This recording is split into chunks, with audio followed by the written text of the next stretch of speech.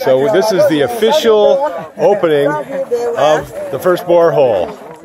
And everybody is so happy. Thank you, Bewa. Thank you, Bewa.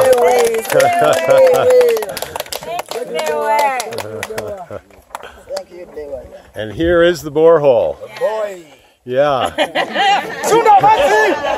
Amazzi, Amazzi. All right. Balunji.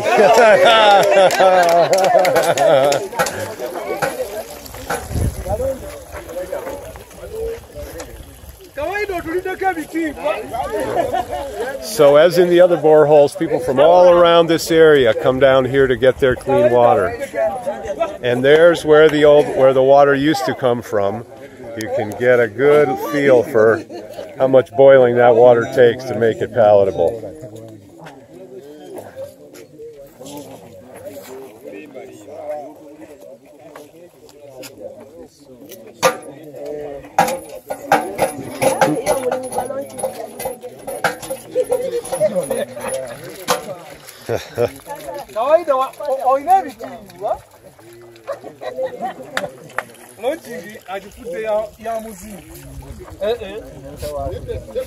So the Luganda word for water is amazzi. And drinking water is uh, and some other word more complicated.